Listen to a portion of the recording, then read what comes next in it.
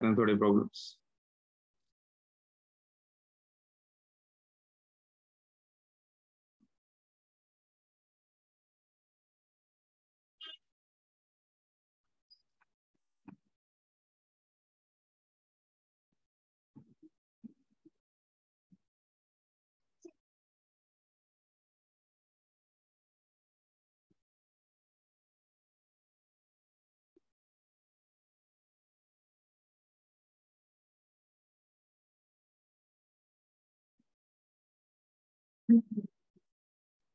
झाड़ू झाड़ू झाड़ू रखो बेटा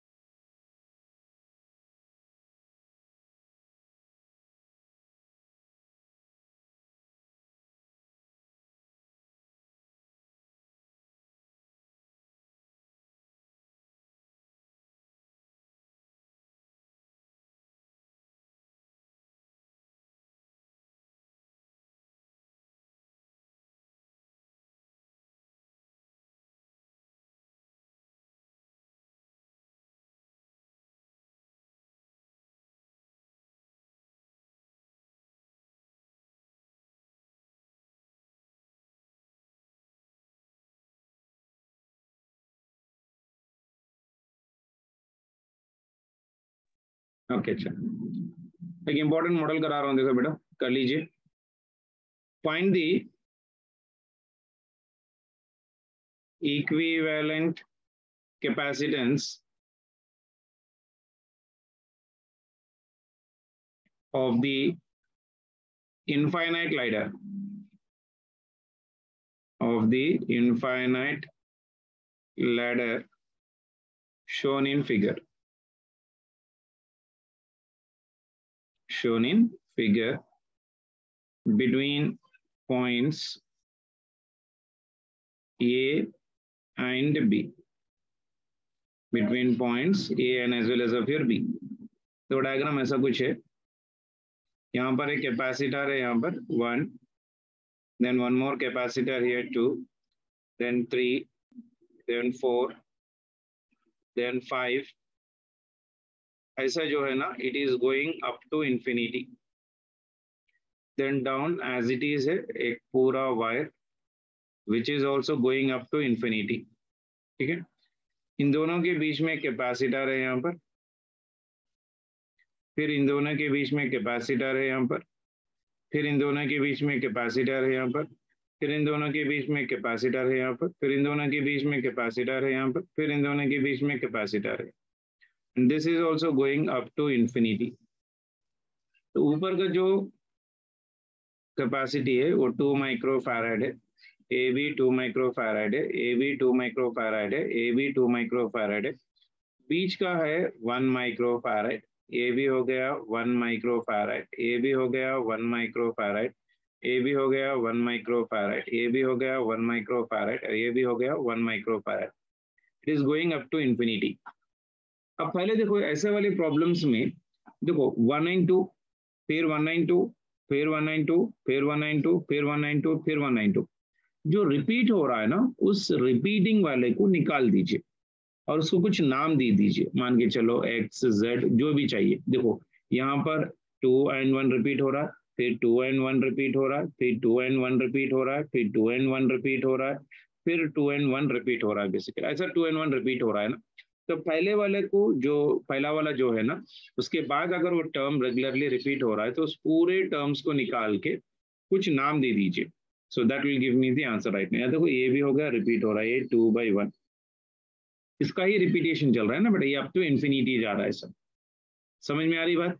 तो जो इन्फिनिटी तक जा रहा है ना, उसको निकाल दीजिए। ठीक है ना? उसको निकाल दीजिए and then you try to give you the naming for that one basically ठीक है ना? मैं समझाता हूँ। यानी मैं, मेरा बोलने का मतलब क्या है?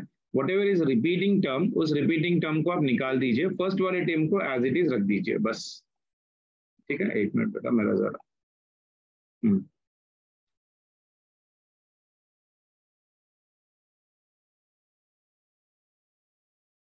चलिए। अब देखिए मैं आपको करा रहा हूँ। वन एंड टू ये वाला फ़र्स्ट है ना? अपने को निकालना है potential across sorry effective across your A and B one nine two जो है ना, इसको मैं फ़र्स्ट रेफरेंस ले रहा हूँ। फिर वन नाइन टू है, फिर वन नाइन टू है, फिर वन नाइन टू है, फिर वन नाइन टू है। ऐसा रिपीट हो रहा है। It is going up to infinity इसको निकाल दो आप। इसको निकाल के जो है ना, आप इस तरह से रिपीट कर लो। फिर जो है ना, उसको एज इट इज़ लिख लो। ये जो फ़र्स्ट वाला कैपेसिटर है, इसको एज इट इज़ रख दो। और यहाँ पर हो गया टर्मिनल बी यहाँ पर हो गया टर्मिनल ये और ये वाला हो गया अपने पास two microfarad as it is और ये हो गया one microfarad as it is और जो अपन ने निकाला है ना, उस निकाले हुए टर्म कैपेसिटर को एक नाम दीजिए। उसको नाम दे रहा हूँ मैं एक्स ओके इजन इट जो रिपीट हो रहा रिपीट हो रहा रिमूव करो इसको। रिमूव करो। एंड उसको एक नाम दे दो। लाइक से एक्स सो जो रिपीट हो रहा है, यानी वन रिपीट कब होगा बेटा? जैसे मान के चलो वन रुपी है, फिर उसके बाद वन रुपी है, फिर उसके बाद वन रुपी है तो ये रिपीट हो रहा ना तो पहले वाले को रख लो आप। जो रिपीट हो रहा ना, उसको निकाल के एक्स का नाम दीजिए। बात समझ में आ रही मेरी? मेरी बात समझ में आए सभी को? Am I clear with this one? Am I clear with this one? चलिए तो इसको अभी सॉल्व करते हैं। अभी अभी समझ में आया ना देखो? वन नाइन टू में ये वाला जो है ना एज इट इज़ है वन वाला टू फ़र्स्ट वाला है। बाकी के टर्म पूरे रिपीट हो रहे हैं तो मैंने पूरों को निकाल के एक नया कैपेसिटर बनाया, जिसका जो इफ़ेक्टिव कैपेसिटेंस है एक्स है। और यहाँ पर एक इंपॉर्टेंट पॉइंट समझना है। इज़ इट जब भी इनफाइनाइट टर्म्स को निकाल रहे इफ़ेक्टिव को भी वही नाम देना जो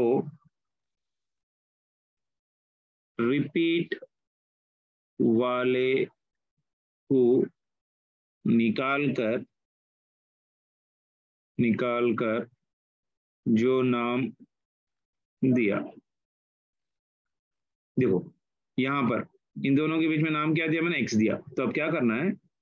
ए और बी के बीच में भी जो इफ़ेक्टिव आ रहा है ना इफ़ेक्टिव कैपेसिटेंस जो ए एंड बी के बीच में आ रहा है ना इफ़ेक्टिव उसको भी अपन क्या देना? है एक नाम देना। तो इन दोनों के बीच में भी इसका नाम क्या हो जाएगा? एक्स ही हो जाएगा। बात क्लियर है? सो जो रिपीट हो रहा है, उसको हम लोग रिमूव करो और उसको एक नाम दे दो लाइक से एक्स जब भी इन्फाइनाइट टर्म्स को निकाल रहे हो इफ़ेक्टिव को भी वही नाम देना है जो रिपीट वाले को निकाल कर जो नाम दिया। मान के चलो एक्स तो अब ये क्या हो जाएगा? अब देखो इफ़ेक्टिव अक्रॉस में बेसिकली अब ये देखो, अब यहाँ पर इस वाले को देख लो जी एक बार। इस वाले को अगर देखे, ये टू और एक्स सीरीज़ में बन गए।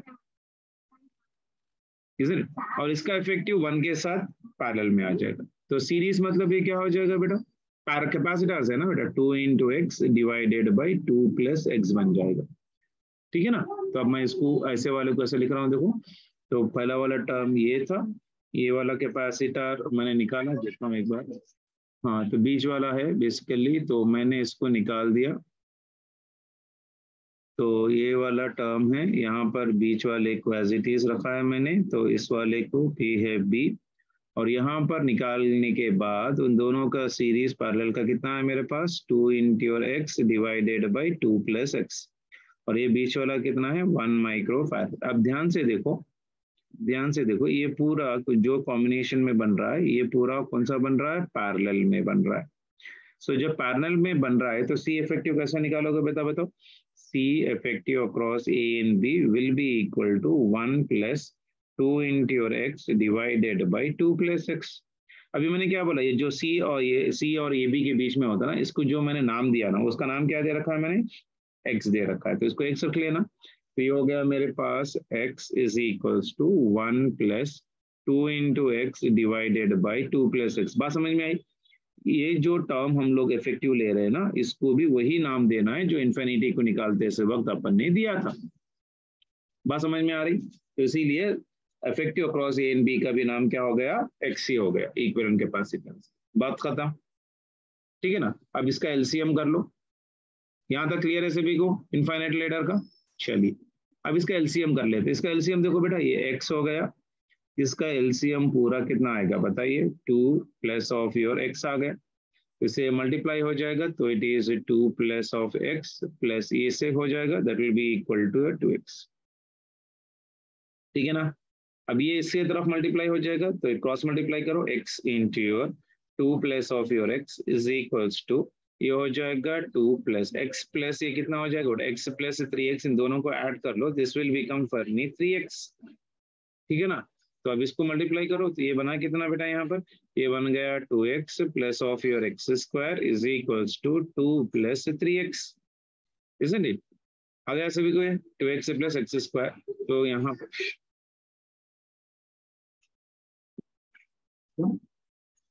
बाद में। ठीक है।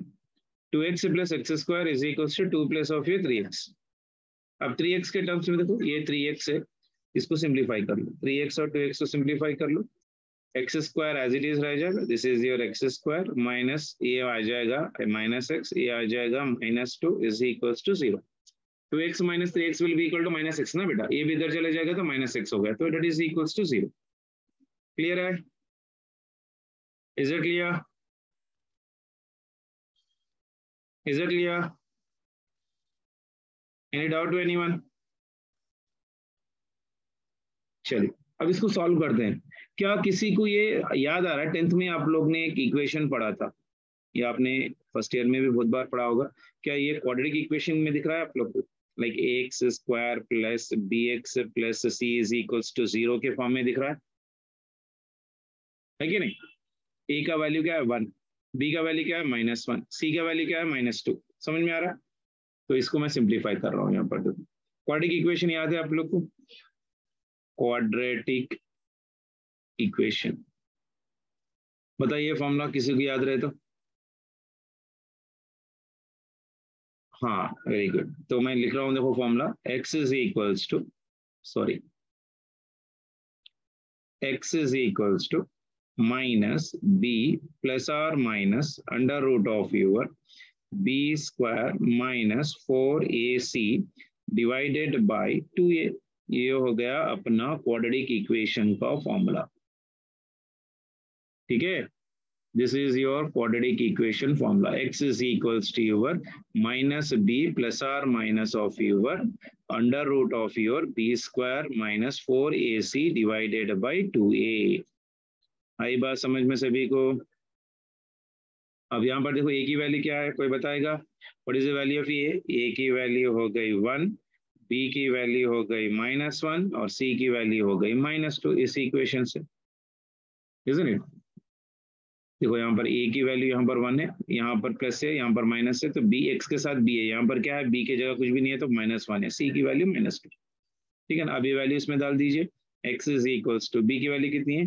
माइनस पे ये हो गया माइनस वन प्लस और your minus under root of your b की वैल्यू कितनी हो जाएगी? Minus one whole square this will be minus four into a की वैल्यू वन इंटू सी की वैल्यू माइनस टू ठीक है ना? Divided by this will be two into your one ठीक है ना?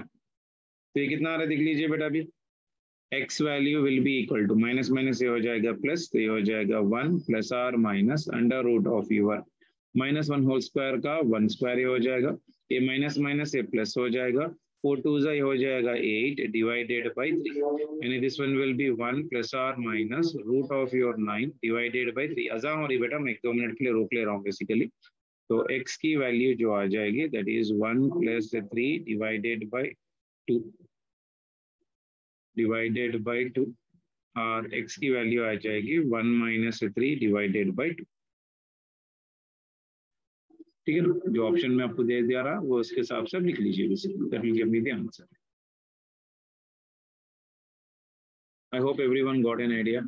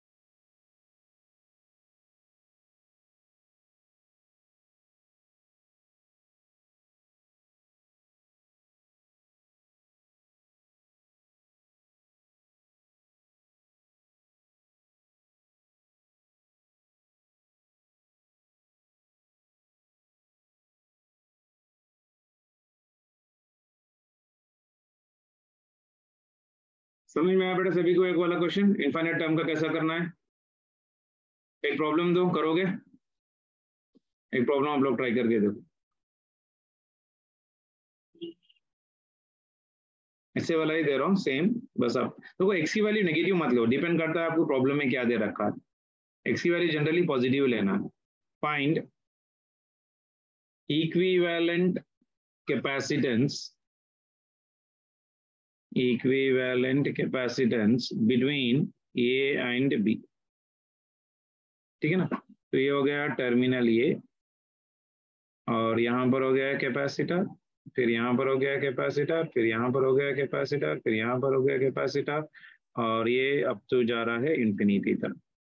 फिर नीचे एज इट इज़ एक पूरा कंडक्टिंग वायर है और ये भी जा रहा है अब टू इंफिनिटी ठीक है ना? तो फ़र्स्ट वाला यहाँ पर एक कैपेसिटर है फिर यहाँ पर एक कैपेसिटर है, फिर यहाँ पर एक कैपेसिटर है, फिर यहाँ पर एक कैपेसिटर है, और ये जा रहा अप टू इंफिनिटी तक। ठीक है? इसकी वैल्यूज़ दे रखा है, देखो बेटा।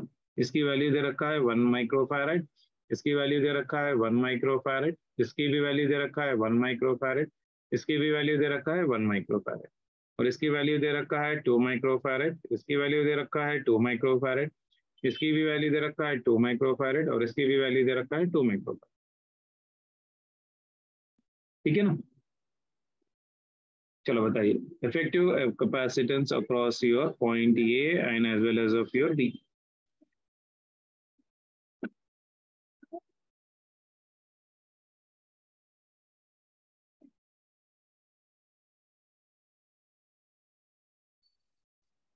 try करो बेटा। ऑनलाइन में क्लास समझ में आ रही है बेटा मेरी? काम कर सकते हैं। अगर लॉन्ग टर्म के बच्चे आने के बाद हुआ तो लेट नाइट में like eight thirty to nine thirty हम लोग वीकेंड एग्ज़ाम के क्वेश्चन प्रॉब्लम्स प्रैक्टिस कर सकते हैं। अगर आप लोग अवसर से पूछ लिए तो एक घंटा रोज हम लोग न्यूमेरिकल्स को लगा सकते हैं।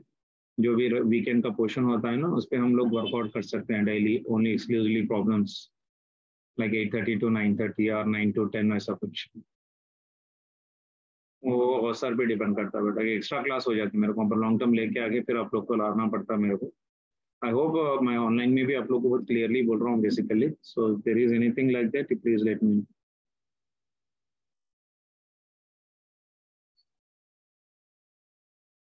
समझ में आ रही है क्लास ऑनलाइन में आप लोगों को? थोड़ा स्लो जा रहा है शायद में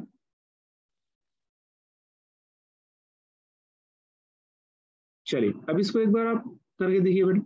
पॉइंट ये है और ये वाला पॉइंट बी है। रिपीटिंग जो हो रहा है उसको पहले निकालो आप। पहले बताओ कौन कौन सा रिपीट हो रहा। ये देखो यार वन नाइन टू है ना, फिर उसके बाद वन नाइन टू ये रिपीट हो रहा। फिर उसके बाद ये वन नाइन टू रिपीट हो रहा। फिर उसके बाद ये वन नाइन टू रिपीट हो रहा। वैसा रिपीट होते जा रहा है ना बेटा कंटिन्यूसली तो जो रिपीटिंग टर्म है ना, उसको आप निकालो। ये देखो, ये वाला रिपीट हो रहा है। फिर उसके बाद ये वाला रिपीट हो रहा है। फिर उसके बाद ये वाला रिपीट हो रहा है। तो रिपीटिंग हो रहा है ना तो उसको निकाल दो। पहले वाले टर्म को एज इट इज़ रखो आप। वन माइक्रोफैराइड फिर उसके बाद यहाँ पर टू माइक्रोफैराइड उसको निकाल के मैंने बोला कि उस कैपेसिटर को एक नाम देना है, वो हो गया एक्स ये बीच वाला तो टू माइक्रोफैराइड है और ए वाला तो वन माइक्रोफैराइड है। इट अब देखो बेटा, टू और ये एक्स जो है ना, टू एंड योर एक्स जो है ना this are right now in your parallel combination ये हो गया है कि पैरेलल कॉम्बिनेशन सो so, अगर ये पैरेलल कॉम्बिनेशन में हो गया तो this will be equal to और ये तो पहले वाले को एज इट इज़ रखो तो उसको पूरा निकालो ए कैपेसिटर आ जाएगा ये हो जाएगा बी और ये हो गया वन माइक्रोफैराइड तो अगर ये पैरेलल है तो पैरेलल जब आ रहा है तो क्या होता है बेटा? देखो जल्दी से। पैरेलल में क्या होता है? टू और ये एक्स है तो ये बन जाएगा two plus of x parallel में अब देखो बेटा अगर हम लोग इसको देखें one and two are in which combination बेटा? This one is in the series combination तो सी इफ़ेक्टिव लिखो पहले C effective across your A and B will be equal to this will be 1 into your 2 plus x divided by 1 plus 2 plus of your x. आया? आया सभी को? आया सभी को? 2 प्लस एक्स होता है ना बेटा? 2 प्लस एक्स टू एक्स नहीं होगा। मैंने क्या बोला था? Effective cross A and B को भी वही नाम देना है जो इन्फिनिटी टर्म निकाल के अपने नाम दिया। तो एक्स और capacity between A and B को भी आप एक्स नाम दे दो। तो ये हो जाएगा two plus of your x because one into two plus x two plus x divided by one plus two plus of your x गई बात समझ में? ठीक है? तो ये क्या हो जाएगा बेटा? X is equals to two plus x divided by ये हो जाएगा one plus two plus x. ठीक है ना?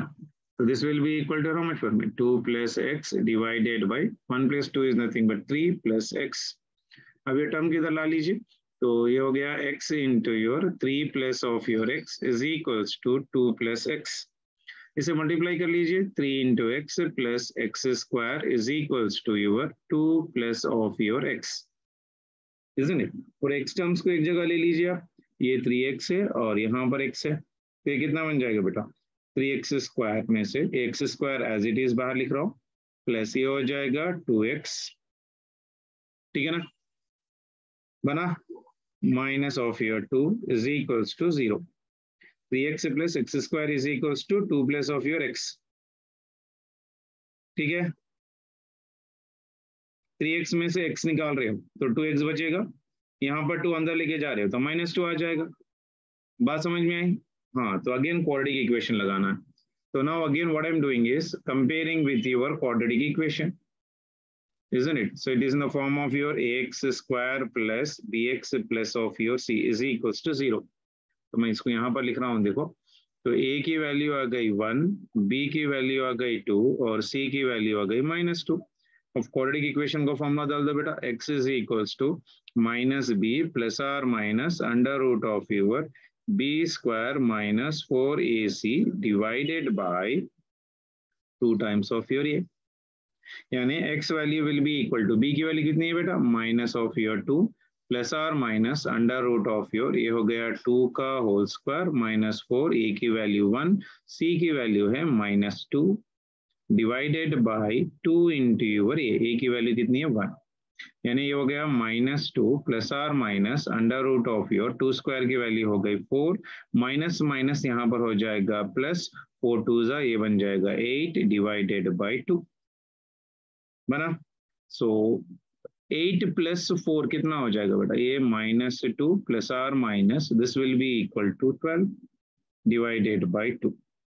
So this will be equal to minus 2 plus or minus under root of 12 कैसे लिख सकता हूँ बेटा मैं? 4 3 is 12 divided by 2 तो ये बन गया मेरे पास minus two plus or minus ये बन जाएगा two root three divided by two तो अब तो टी टू सीधा सीधा कैंसिल हो जाएगा। तो यहाँ से ये टू ये टू और ये टू कैंसिल हो गया। तो this will be equal to हम minus one plus or minus of your root three तो ये हो गया एक्स की वैल्यू अब x की वैल्यू आप ऐसा लिख सकते हो, x is equals to minus one plus root three isn't it? Or i can write x is equals to minus 1 minus root 3 isn't it?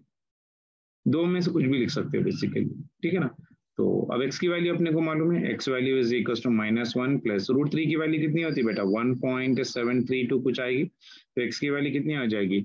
Minus one में से one one point seven three में से minus one निकाल रहे हैं zero point seven three two ये हो गई x की वैल्यू यहाँ पर x की वैल्यू नेगेटिव आएगी ना बेटा? ज़रूरत नहीं है। तो आप x की वैल्यू जो पॉजिटिव टर्म आ रही है, उसमें से निकाल दो। That will give me the answer clear है? आ गया सभी को? हाँ कभी कभी आंसर यहाँ तक ही छोड़ देगा। ऑप्शन पे डिपेंड करता है बेसिकली यहाँ तक भी आप आंसर लिख सकते हो basically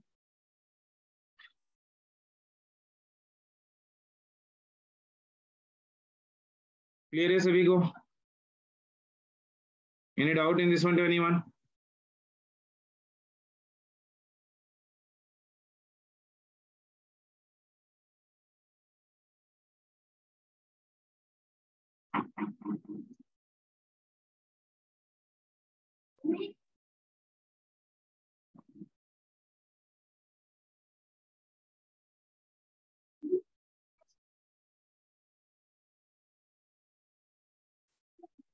Hmm, oh.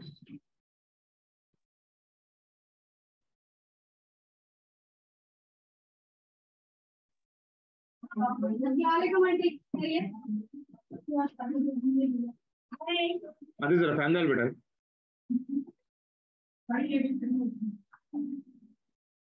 Sir, your classes are very helpful. Sir, please take classes for us at least for half an hour. Sir. ठीक है चलिए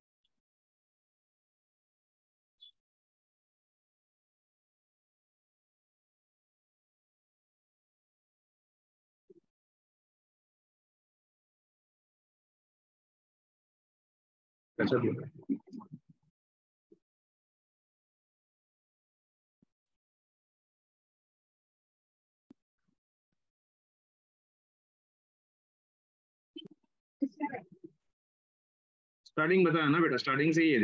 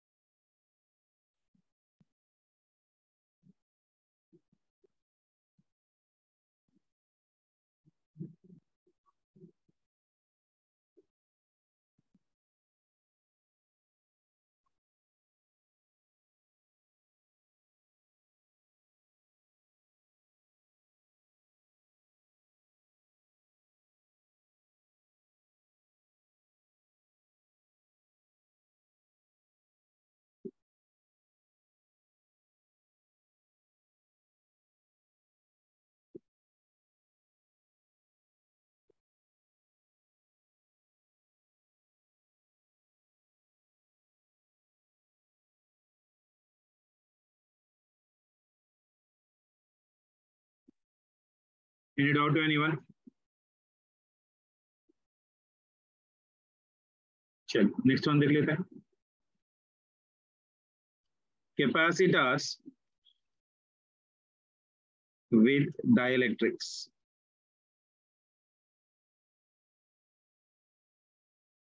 capacitors with dielectrics dielectric होता है क्या है बेटा एक तरह का इंसुलेटर ही होता है डायलैक्ट्रिक ठीक है ना? Dielectric is an insulator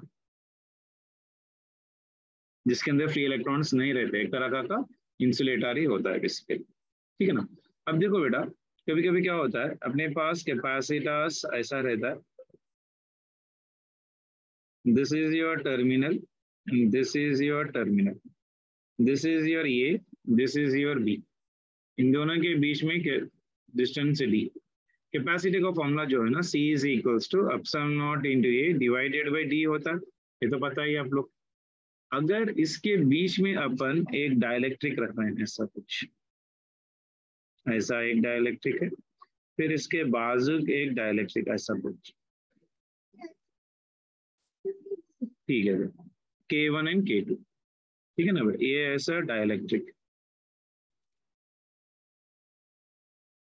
देखो अगर आप दो ध्यान से देख रहे हो तो ये जो डिस्टेंस है ना बेटा, ये डिक्रीज हो रहा है। तो मान के चलो ये डी बाई टू हो गया, ये डी बाई टू हो गया। टोटल डिस्टेंस डी थी तो डिस्टेंस डी बाई टू हो गया बेसिकली इज़ तो देखो, आगे देखो बाजू बाजू रहेंगे ever whenever dielectrics dielectrics are side by side.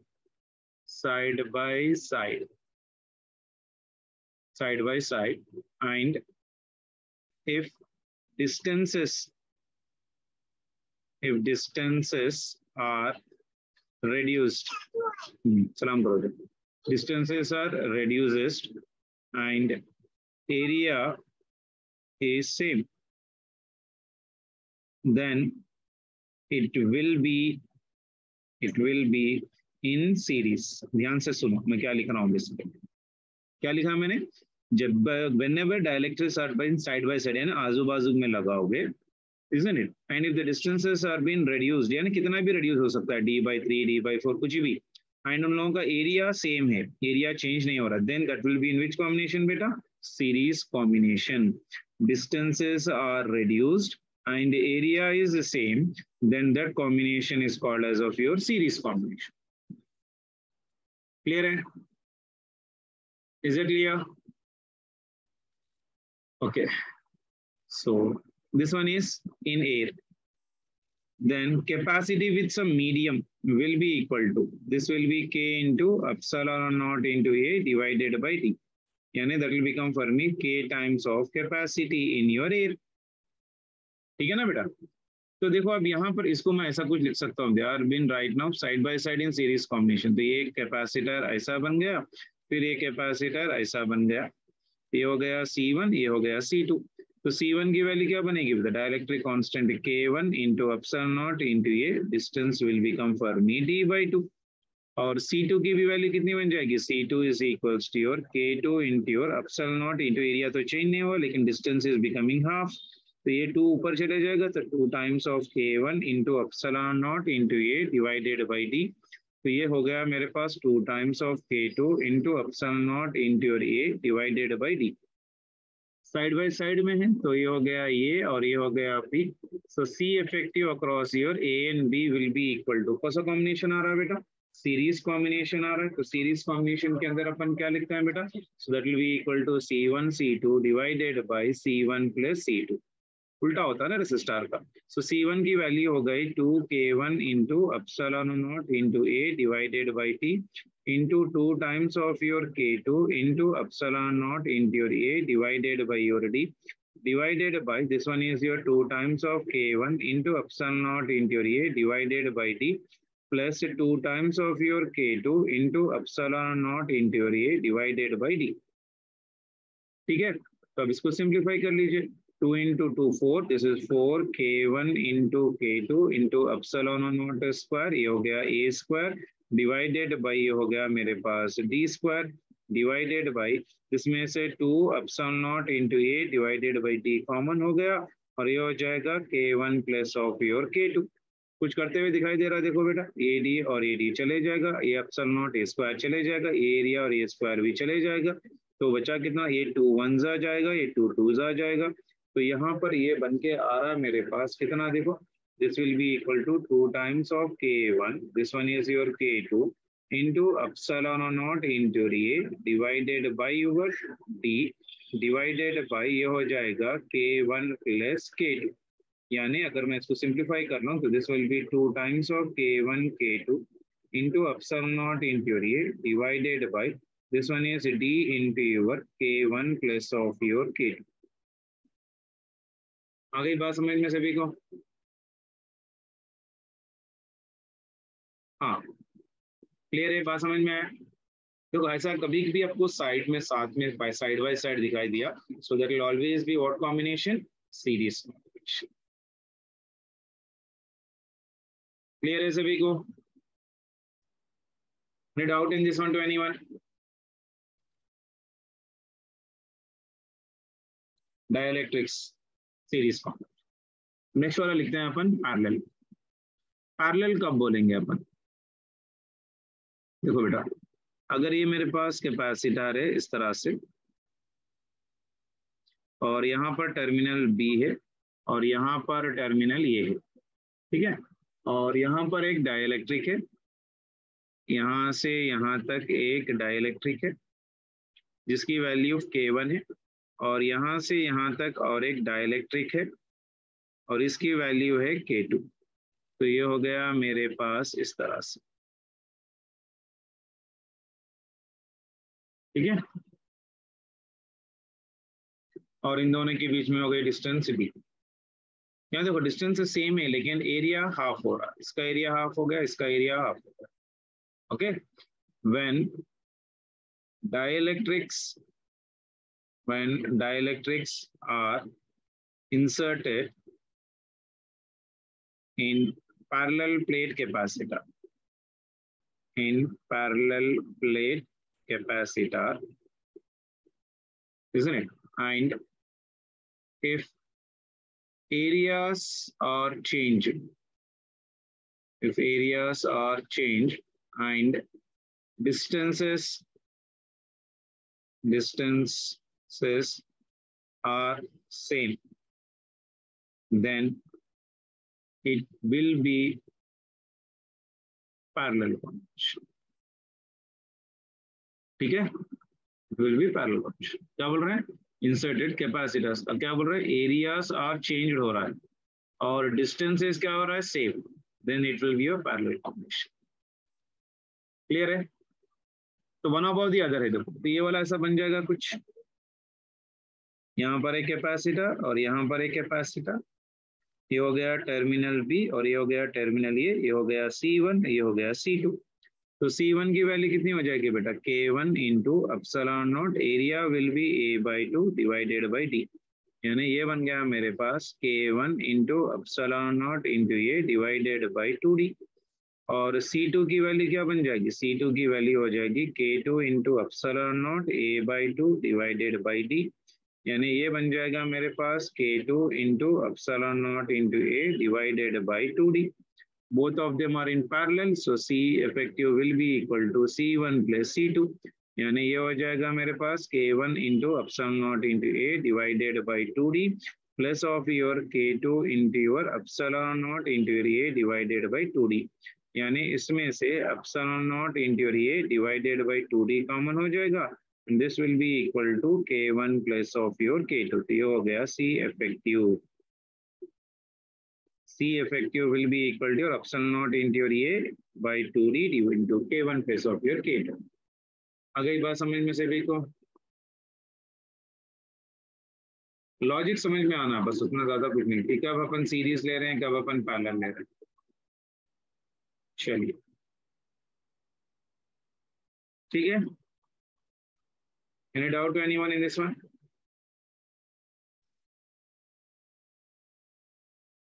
Is it good doubt है इसके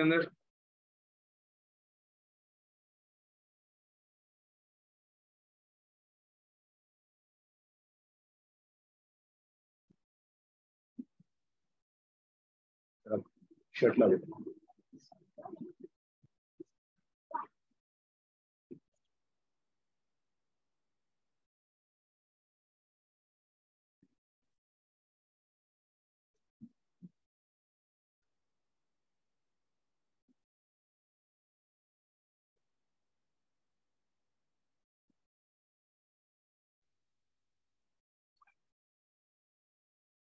बनाने डर गया आपसे।